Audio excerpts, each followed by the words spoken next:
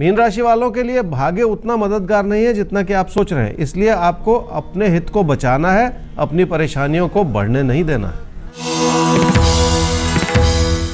क्या करना चाहिए सप्ताह में? बहुत विनम्रता के साथ लोगों से बात करनी होगी और तभी आप अपनी परेशानियों का समाधान भी ढूंढ पाएँगे। तो ये जो स्थिति है, बहुत शांत बने रहने की बहुत अहम है इस समय क्या ना करें इस सप्ताह में? अपनों की अच्छाई पे कोई शक ना रखे अपने मन में। वो सब अपने जो हैं, आपके साथ हैं, आपको मदद देना चाह रहे हैं। ये अच्छाई जो है, आपके लिए ज़रूर बनी रहे।